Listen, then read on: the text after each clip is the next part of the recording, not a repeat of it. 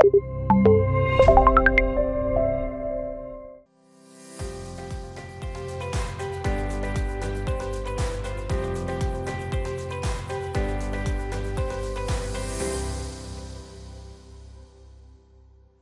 nay Chủ nhật ngày 1 tháng 10 năm 2023, trên các báo có những bài viết nào đáng quan tâm. Mời quý vị cùng chúng tôi điểm qua ngay sau đây.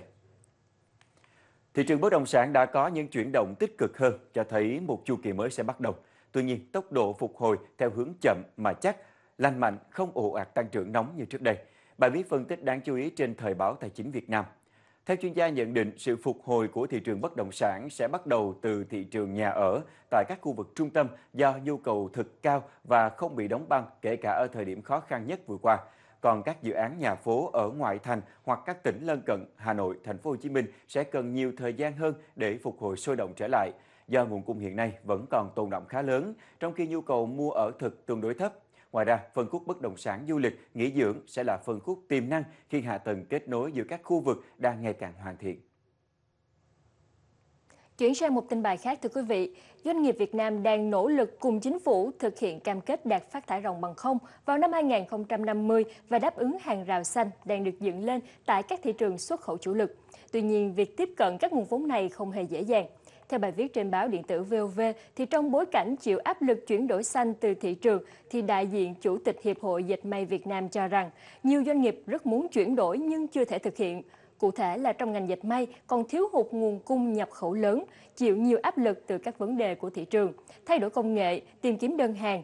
Và để giải bài toán này thì Bộ Tài nguyên và Môi trường nên xây dựng nguồn quỹ để hỗ trợ các khu công nghiệp đầu tư xây dựng nhà máy xử lý nước thải, hệ thống năng lượng xanh tuân thủ đúng các điều khoản cho phép từ các hiệp định thương mại.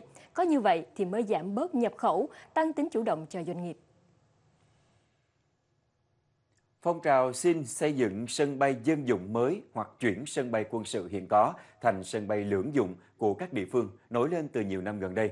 Đây là nhu cầu chính đáng, song muốn thực hiện các địa phương phải chủ động được nguồn vốn đầu tư, theo bài viết trên báo Kinh tế và Đô thị, trong bối cảnh ngân sách nhà nước vẫn đang khó khăn như hiện nay, trong khi nhu cầu có sân bay của các địa phương vẫn rất lớn, thì việc huy động nguồn vốn xã hội hóa gần như là con đường duy nhất và trách nhiệm này cần được giao về cho các địa phương. Tỉnh nào muốn sớm có sân bay thì tỉnh đó phải đẩy mạnh công tác huy động vốn xã hội hóa. Đó chính là áp lực nhưng cũng là động lực để các địa phương hiện thực hóa mong muốn có sân bay.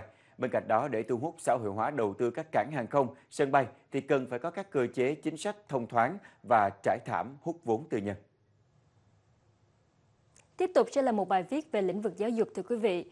Chuẩn đầu ra ngoại ngữ là quy định được áp dụng nhiều năm nay ở bậc đại học. Tuy nhiên, trình độ ngoại ngữ của sinh viên vẫn chưa đồng đều.